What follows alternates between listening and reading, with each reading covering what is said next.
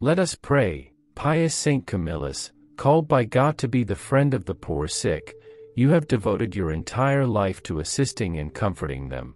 Contemplate from heaven those who invoke you, trusting in your help.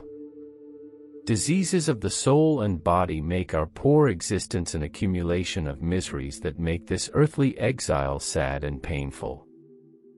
Relieve us in our infirmities, obtain for us holy resignation to divine dispositions, and in the inevitable hour of death, comfort our heart with the immortal hopes of beatific eternity. So be it.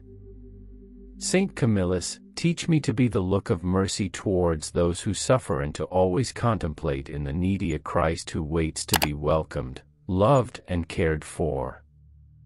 It always reminds me that, as a beloved child of God, I also need to offer love.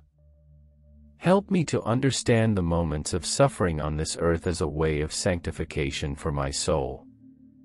Grant those who care for the sick the grace to be loving and generous in the experience of service.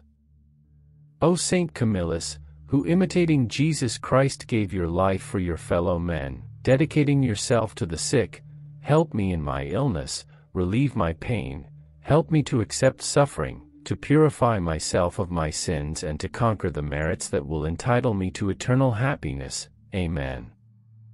At that moment ask for his grace. Saint Camillus of Lellis, pray for us. Lord, may I join my sufferings to those of your Son Jesus, who, for the love of men, gave his life on the cross. I also ask, Lord, help doctors and nurses to have the same dedication and love for patients that Sao Camillo had. So be it Amen.